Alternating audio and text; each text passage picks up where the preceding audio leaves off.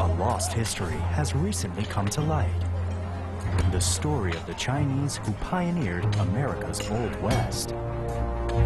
Thousands would help build one of the most daunting enterprises ever attempted. The Transcontinental Railroad. They would risk their lives in a bid to conquer the steep Sierra Mountains. Their heroic efforts would make history on Gold Mountain.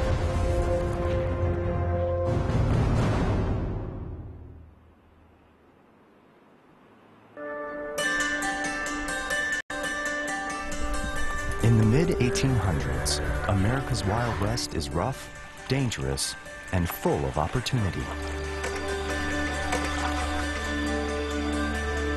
For nearly a decade, pioneering Chinese have been seeking their fortunes on Gold Mountain and returning home with tales of adventure. My grandfather told me that when he was a, a young boy, he'd hear stories of Gumsan. He would talk about how wonderful and exciting America was. Great grandfather, he was probably surprised to learn that America was tough, it was a tough place to work. It was wild country and it had everything that he'd never seen before.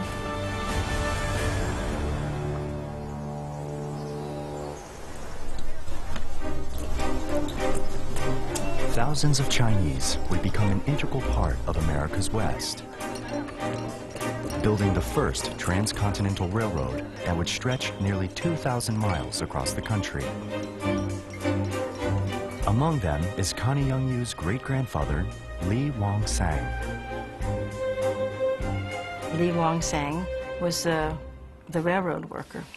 He came in 1866 during the height of hiring by the Central Pacific.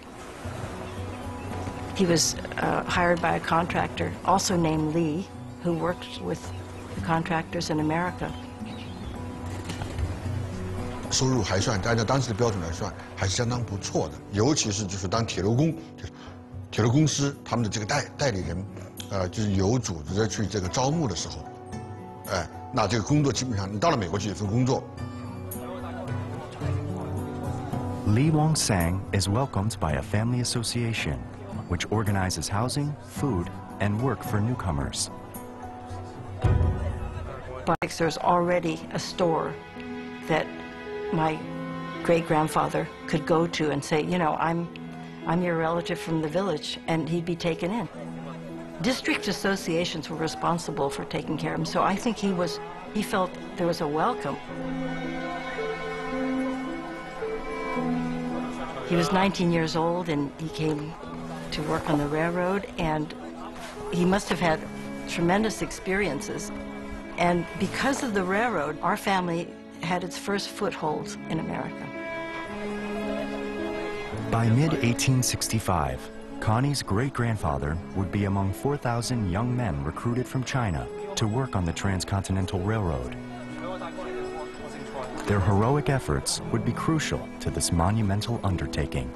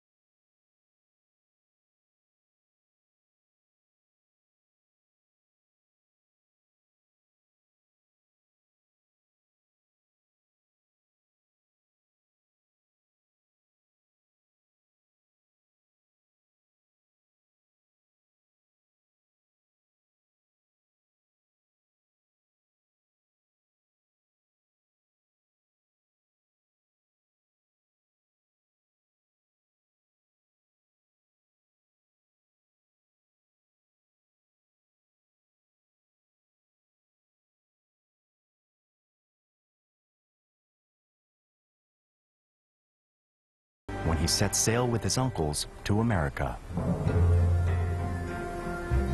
They were promised vegetables, dried octopus, dried squid, dried fish, salted, and a whole bowl of rice. It was $25 a month. He could even send money home.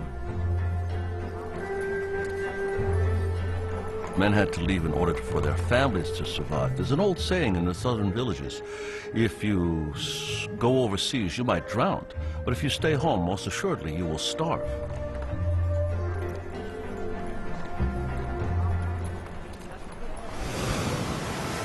Halfway around the world, the Irish are also suffering from starvation. They too would risk the long journey to America, desperate to feed their families. Competition for jobs would ultimately set them against the Chinese in a history marked with conflict and violence. The Irish, in many ways, were to immigration to the eastern part of the United States what the Chinese were to immigration to the western part of the United States.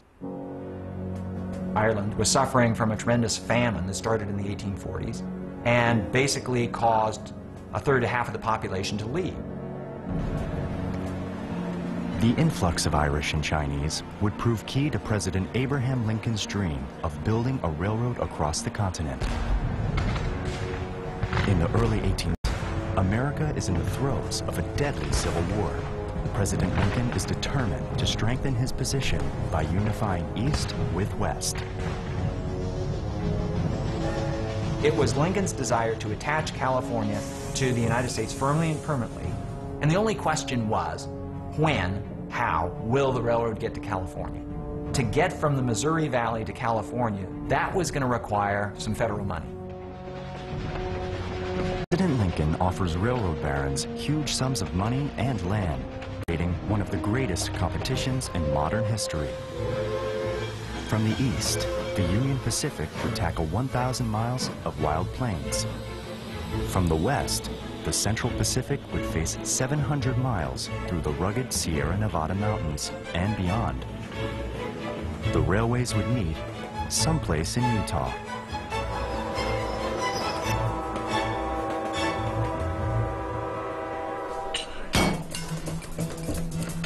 In 1863, both companies break ground and the race is on. Engineers estimate it will require 5 million railroad ties and more than 600,000 rails, each rail weighing 700 pounds. In total, 21 million hammer strikes. Millions of dollars are at stake. It's a bold and risky undertaking. Many say impossible. At first, the railroad barons hire only Anglo workers.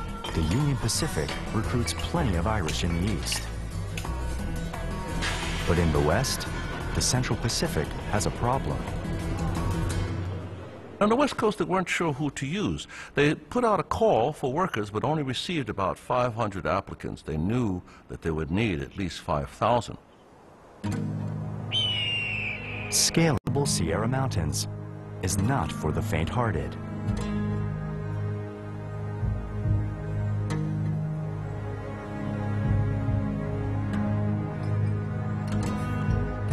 西部这边太非常难就连爱尔兰人都做都做不了哎非常吃苦耐劳的爱人因为这个你要经过这个西部的大山哎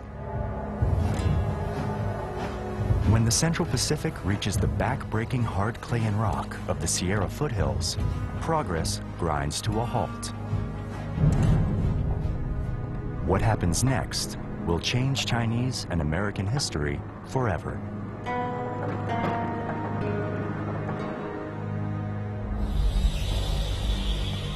The Transcontinental Railroad is at a standstill in the West. In six months, the Central Pacific has laid only 18 miles of track. Ahead, they must determine a route through the steep Sierras. These massive mountains rise 7,500 feet in just 100 miles. Sheer ravines and solid rock verticals taunt the engineers. Unlike the Union Pacific portion of the Transcontinental Railroad, which was flat, the Central Pacific had to build a road through the Sierra Nevada. Now, who thought of that?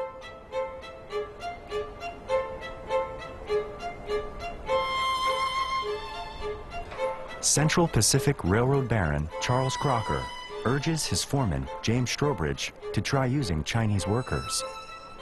后来呢，就有人就说，哎，我们要不要找中国人来？哎，当时那些管铁路的那些老老板啊、就很表示怀疑，中国人怎么行呢？啊，又瘦又小。你不要忘记，这些中国人他们的祖先建造了世界上最伟大的工程，这是万里长城。如果他们能造万里长城，我相信他一定能够做这些事。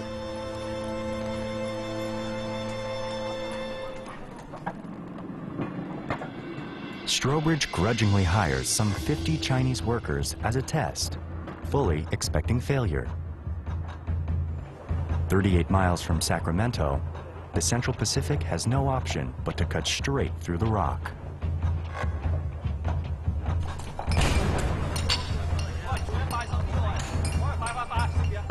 They will need to chisel and blast a passage called the Bloomer Cut. Daunting engineering feat, 63 feet deep and 800 feet long.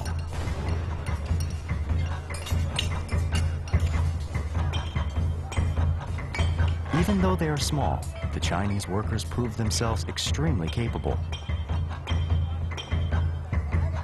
Railroad Superintendent Strobridge quickly hires more. The working conditions on the railroad were difficult. They were driven.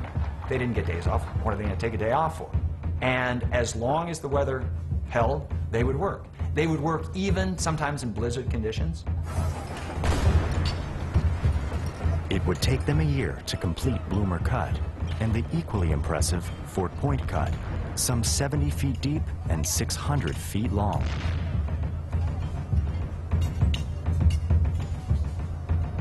The mountains ahead and the Central Pacific needs thousands more workers.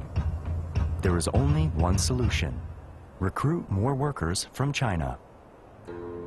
And they went to the same area where the Chinese initially came from for the gold rush, and that is the, the Guangdong region of China. Among them is Connie's great-grandfather, Li Wong Sang, who is quickly promoted to labor boss. He knew how to read and write English. I, I see his signature. I've seen his signature on documents. And he became an interpreter. He became an agent or a foreman. As soon as somebody's hired on the railroad, you know, their skills are assessed. And, and if anybody who, who was a leader of men or, or could speak English and Chinese, I mean, that's very special. Soon, thousands of Chinese are working on the western stretch of the Transcontinental Railroad.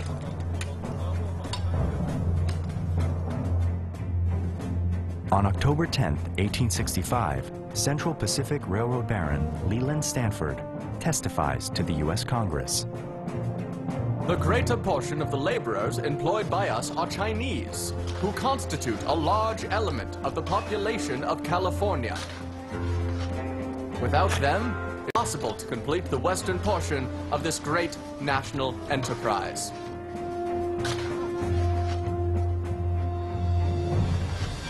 Meanwhile, in the east, the Union Pacific Railroad is making rapid progress. Easy access to workers and supplies gives them a huge advantage over the Central Pacific. Supplies for the underdeveloped West must be transported across hundreds of miles of rugged country or shipped around South America's treacherous Cape Horn. Iron rails, spikes, blasting powder, the locomotives, even the picks and shovels.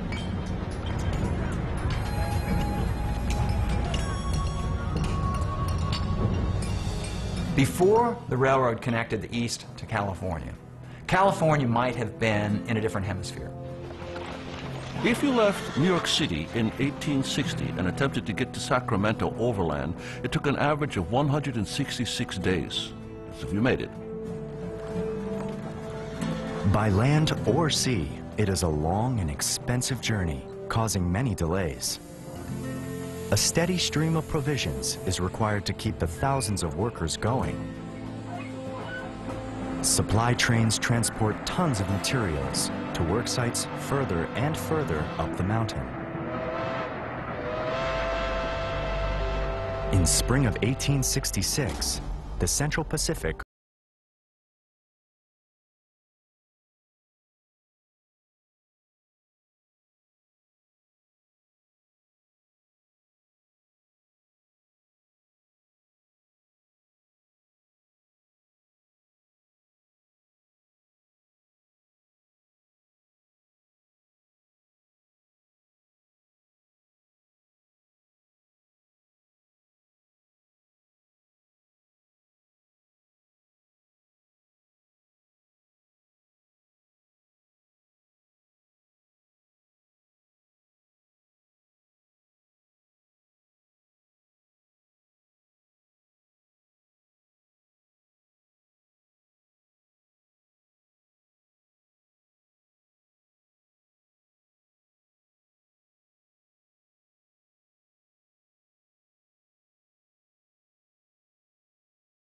feet across.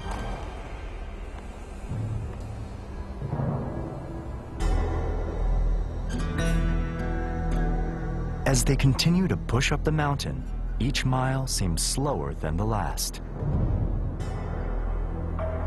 One steep precipice is dubbed Cape Horn after the treacherous seas at the tip of South America. Here, the only option is to carve into the side of the mountain. On sheer cliffs above the American River, Chinese workers are said to have been lowered in baskets to set explosive charges. The Chinese would be lowered in baskets from the top of the mountain, and they would pound away with their picks to put holes in the rock so they could put in blasting powder or TNT. And they would put it in there, and then they had to light the fuse and then swing out of the way before the explosive charge went off.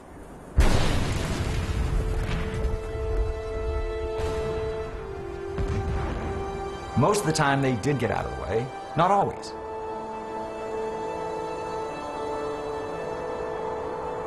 The days are long and grueling, but one day a week, the workers are given a break. Chinese live in separate camps from the Anglos and steadfastly adhere to the customs and traditions of their homeland. Unlike the Irish, they have to supply their own food, but this proves key to their good health. Water for tea, grow fresh vegetables, and seed ponds with catfish along the railroad.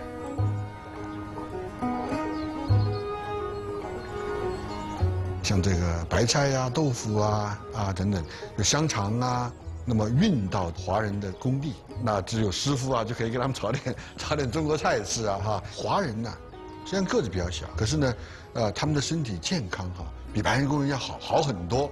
后来为什么呢？你就发现哦，原来哈，跟他们的饮食习惯有关。Healthy but lonely, the men often pass their time gambling. They play their wages, hoping to win a little extra to send home. But some are not so lucky.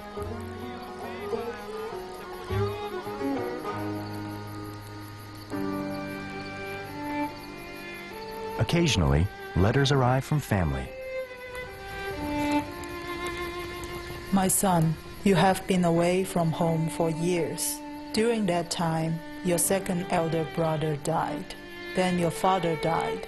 I may already be gone by the time you come back. Would you feel sorry then?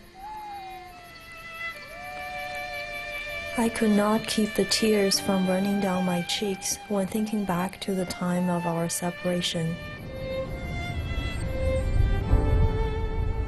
China seems a distant memory. Will they ever see their families again?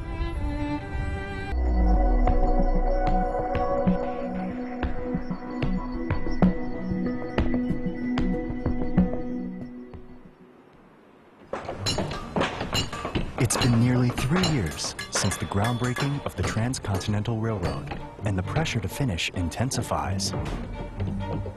The Union Pacific hires masses of Irish immigrants in the East, and the Central Pacific recruits thousands of workers from China. By 1866, the Union Pacific Railway is clearly winning the race. They have already laid over 500 miles of rail, and government officials praise them as a pioneer of civilization.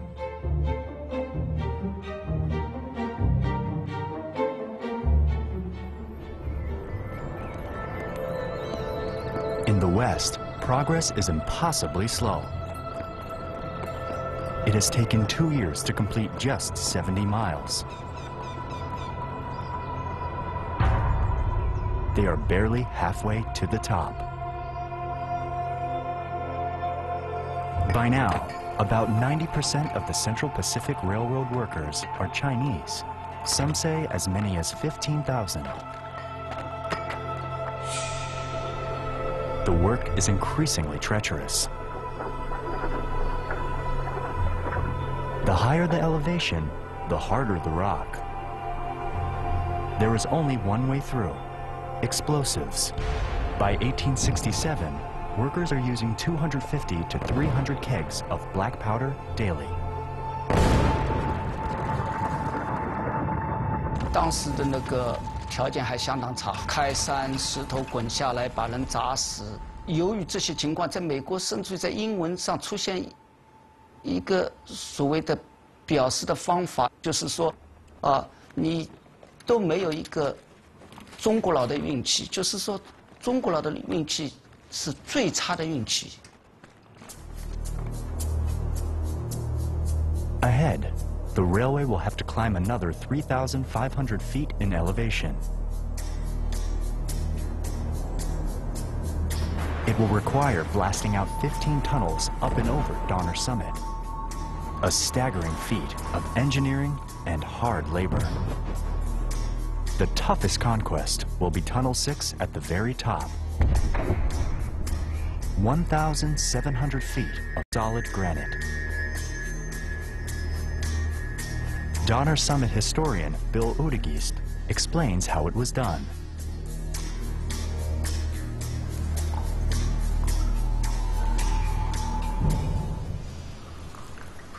These boreholes were done by teams of three Chinese workers. Two of them had sledgehammers, seven and a half pound sledges, and they would hit a flat drill bit. And every time they hit the drill bit, the person holding the bit would rotate it a quarter of a turn.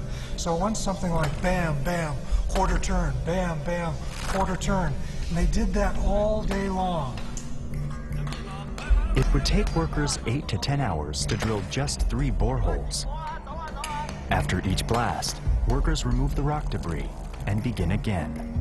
The challenges were were enormous because they they had to carve by hand tools, by hand, chisel the granite rock.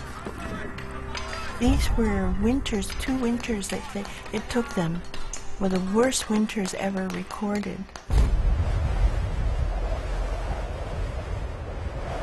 1866, there were 44 snowstorms, ranging from short ones that lasted only a day to one that lasted almost a week, and dumping almost 10 feet of snow at one time. That winter, almost 60 feet of snow fell.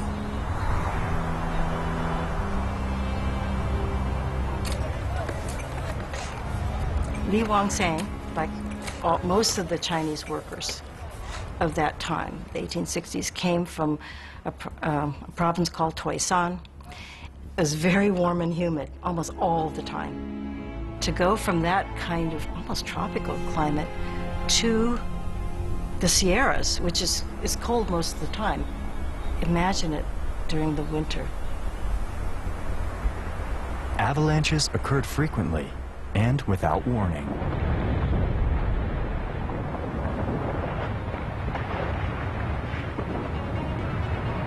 Chinese were in constant fear that their avalanches would come roaring down the mountains.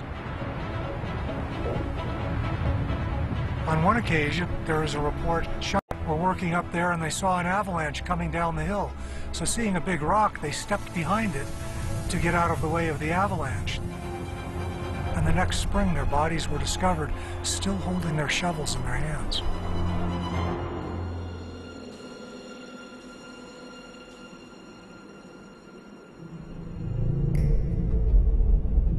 Tunnel 6 progresses only inches a day, despite shifts of workers toiling round the clock.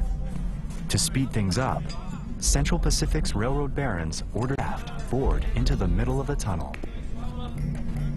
They decided they had to go even faster, and they could double it if they built a shaft down through the center here, 90 feet through granite down. Then they could build from the inside out as well as from the outside in. And even with three crews on each face, working four faces at a time, 12 crews, in eight hour shifts, 24 hours a day, they only made 14 inches of progress per day.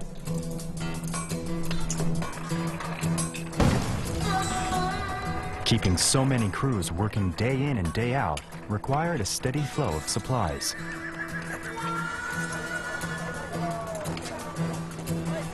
The end of track was at Cisco, about 10 miles west of here. Were thousands of people living there, and every day at the height, something like 87 train car loads were unloaded, put onto wagons to be taken up the Dutch Flat Wagon Road to service the railroad building here and further east.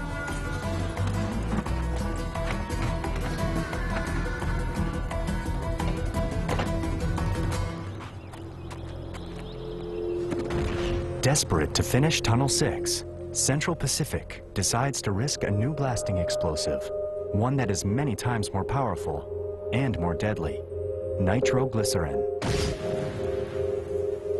It proves so unstable that California bans its transport. To get around this, the railroad hires a chemist to make it on site. It's a dangerous, volatile substance. Even handled with great care, there are accidents.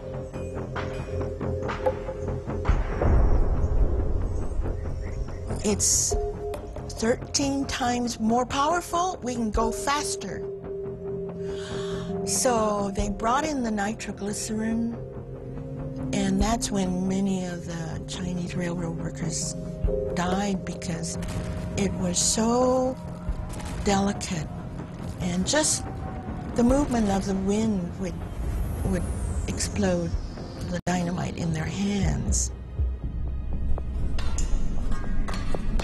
Was extremely dangerous. Not only did you have these explosives ready to go off, but it was very dark and they couldn't see. And the air was full of rock dust and black powder dust.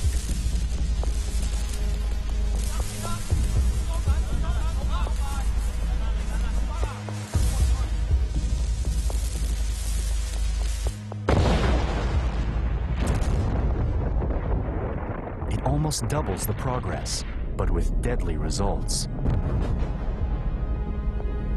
No one knows how many Chinese die, likely as many as one in ten.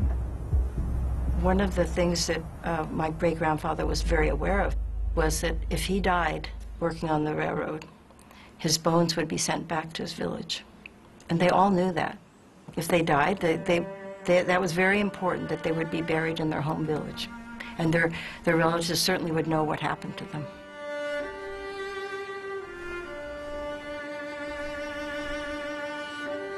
这个是中国历史上的一个传统，就是我们有一句古话，大家都知道，就叫做“落叶归根”。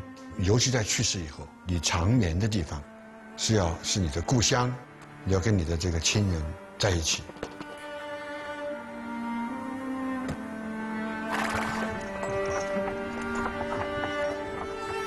在十九世纪，很多人受伤我那个死亡，但是当时还没有保险，还没有政府的各种各样的资助，保证安全的工作条件，所以你死掉之后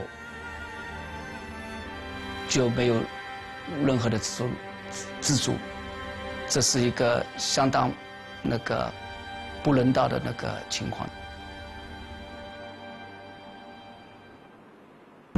From the outset, Chinese workers were paid less than the Irish, working longer shifts, and were given the most dangerous jobs. On June 25, 1867, Chinese workers do the unthinkable. They go on strike. Superintendent Strobridge orders them to return to work, but they refuse.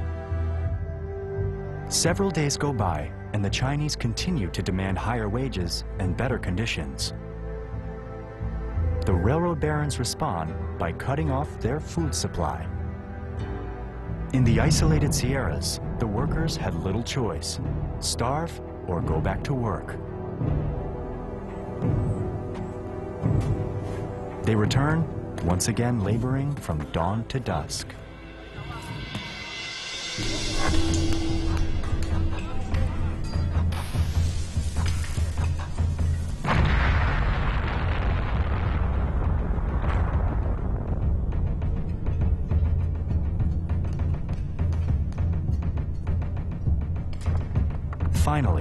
Two months later, in August 1867, weary workers break through the last few inches of Tunnel 6.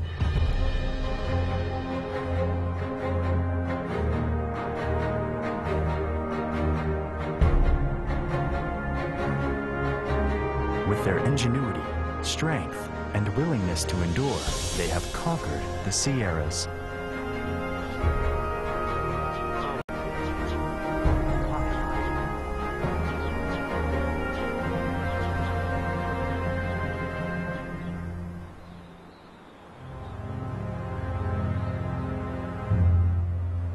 Celebration is short-lived. Ahead stretches hundreds of miles of track still to lay.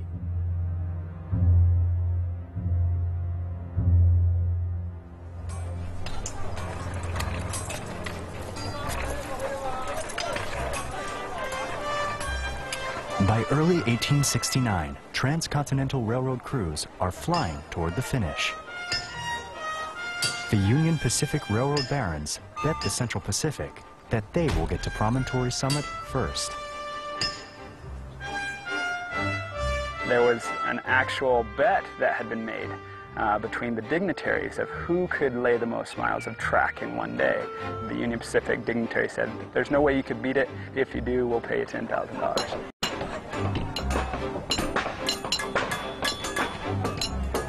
The Central Pacific wins the bet.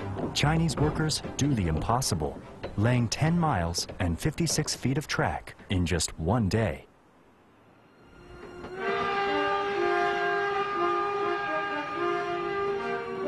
On May 10, 1869, the Union Pacific's number 119 and the Central Pacific's Jupiter locomotives come together at Promontory.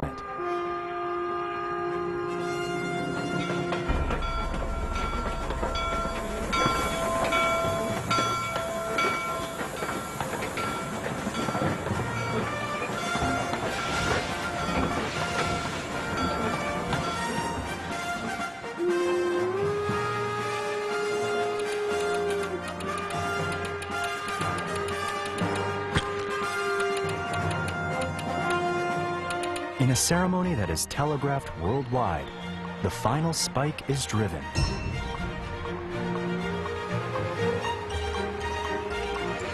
For the first time in history, a railroad spans the entire country. It will now be possible to cross the continent in less than two weeks. A famous photo celebrates the completion of the historic Transcontinental Railroad, but the thousands of Chinese who contributed are not represented. Take a look at the famous photograph of the two trains meeting. There are no Chinese in the photograph.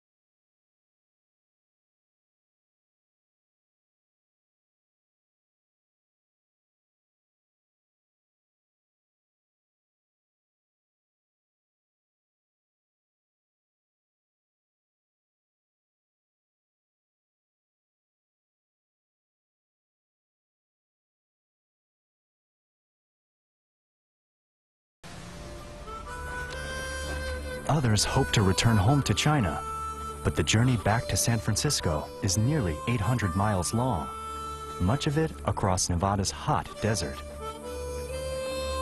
很多人都沿着那个铁路沿线，在附近的小的镇啊、城啊待下来，然后开一些所谓的洗衣店啊进行生存。 Others, like Andrea Yi's great-grandfather, Lim Hip Hong, strike out for new adventures. He heads to the notorious mining town of Virginia City, Nevada.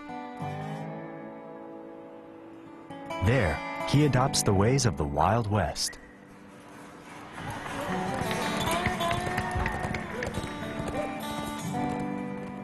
He was very popular and very known to be a Chinese cowboy with um, boots, spurs, leather pants, a white horse, and a hat. And uh, he he loved to go to a bar called Bucket of Blood, and it's still standing there. he probably was very, very fun-loving, a leader of uh, the Rascals. He loved America because it was a free land.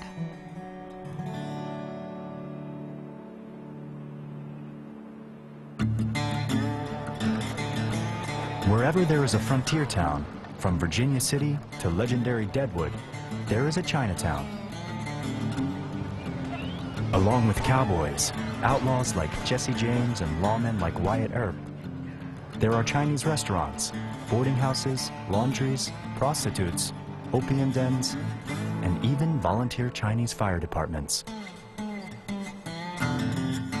The number of Chinese in the Old West continues to grow, lured from their homeland by stories of opportunity and prosperity.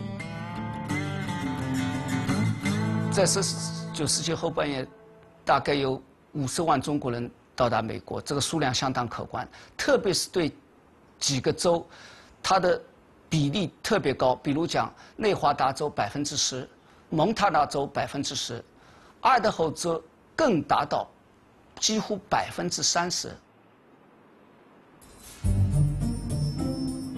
They had come to Gold Mountain to make their fortune and return to China.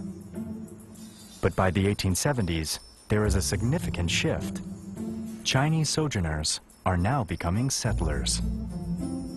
They envisioned staying in the New World for a few years and then uh, returning, which many of them did, but many others also stayed here in the United States and became the uh, ancestors of many of today's uh, Chinese Americans. Where one opportunity fades, another seems to emerge, especially in California.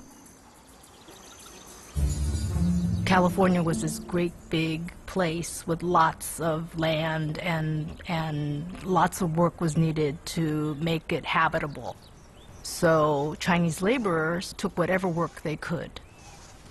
By the 1870s, the census tells us that almost 25% of the population of California was Chinese.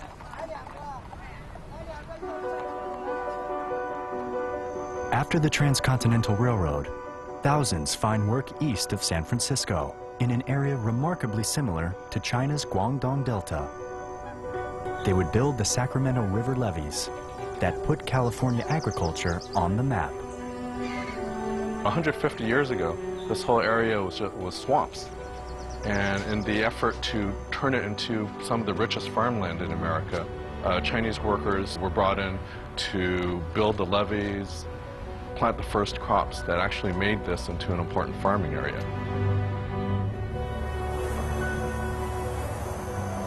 Darren Owing knows this area well.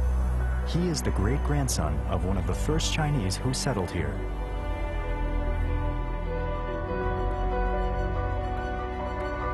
My dad and, and my grandparents and my great-grandparents all lived in this, in this area. And so we consider it sort of like our, our old village in, in a sense. Darren's grandfather and father were born in nearby Courtland. At its height, home to several thousand Chinese. By the late 1800s, nearly 90% of the Delta farm workers were Chinese. They tilled the farmlands that today bring in over $500 million a year. The historical town of Locke evokes a distant past. You look around now, it looks pretty quiet, pretty small, just about a block long. On the weekdays, there'd be maybe about 600 people living here. But on the weekends, everybody would come here to socialize, to gamble, to see friends. Uh, and so this town really was the central hub for all the Chinese working within uh, dozens of miles of here. Ties to China are strong and traditional Chinese culture thrives. Darren's grandfather is among the crowd pleasers. My grandfather was a Chinese opera star, and so he performed here in this town, but also in, in Chinese communities all up and down the West Coast.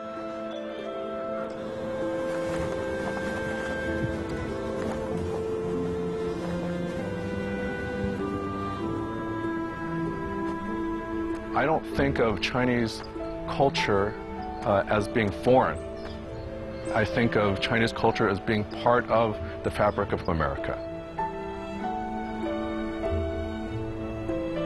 They would continue to strengthen their communities and weave Chinese culture into the tapestry of America.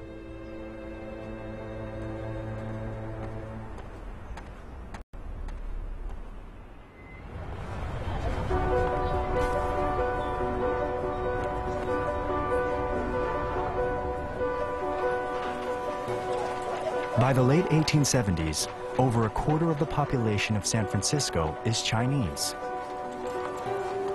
It has the largest Chinatown outside of China.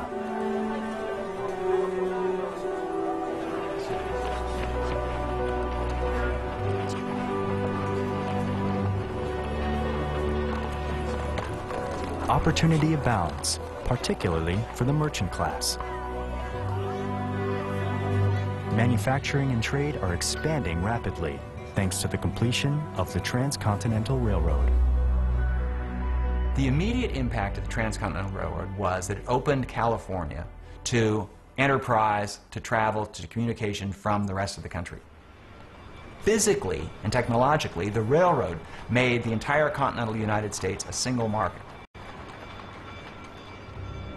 But as San Francisco grows, so do its problems, especially in the densely populated Chinatown. Tension is growing. In 1873, a severe economic downturn triggers intense competition for jobs. It incites a wave of anti-Chinese sentiment across the country. Irish and other white workers see the Chinese as the cause for their economic woes. Politicians play on their fears. The violence worsens and Chinese are driven from their homes. The U.S. Congress passes an Exclusion Act and other racist laws. Chinese will have to fight for their right to stay in America.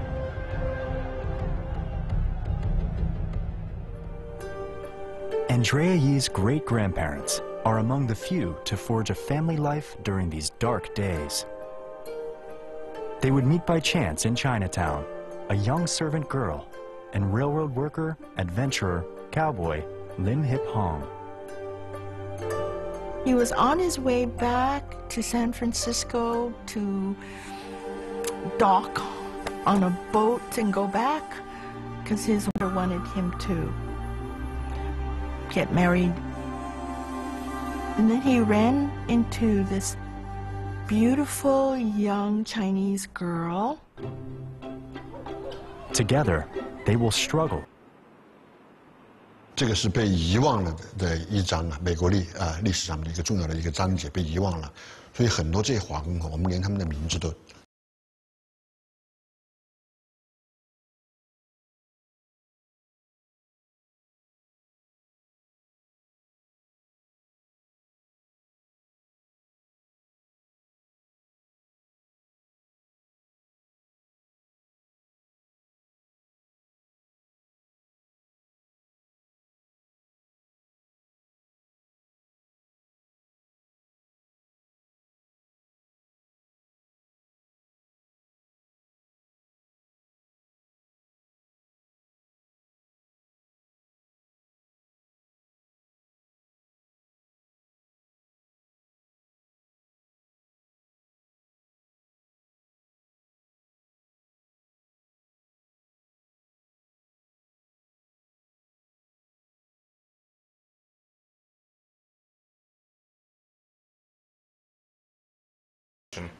Workers who are in no small measure responsible for one of the largest economic expansions in our country and really one of the most significant historic accomplishments. My hope is that by sharing the history of these workers, we can help to repay some of the debt we owe to generations of immigrants who helped build this country. I'm very proud my great grandfather was one of them.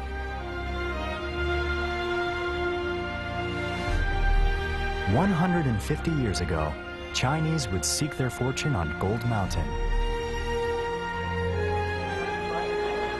Today, their descendants symbolize an extraordinary history of struggle and triumph. One that will never again be forgotten.